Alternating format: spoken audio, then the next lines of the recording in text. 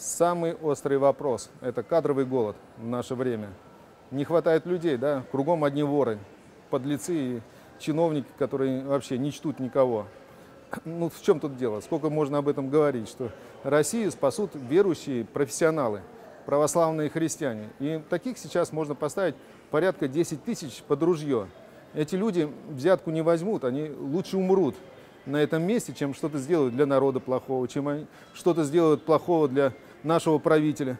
Они просто будут каждый на своем месте выполнять те функции, которые ему Богом даны. То есть человек, получив такую серьезнейшую ответственность, беря на себя такой груз э, серьезный, быть чиновником, решать какие-то глобальные задачи, он контролируем Богом, и осознавая это, да, поклявшись, допустим, на Евангелии, он будет выполнять все просто прекрасно. Иначе нас ждет полнейшая катастрофа. Куда уже дальше катиться?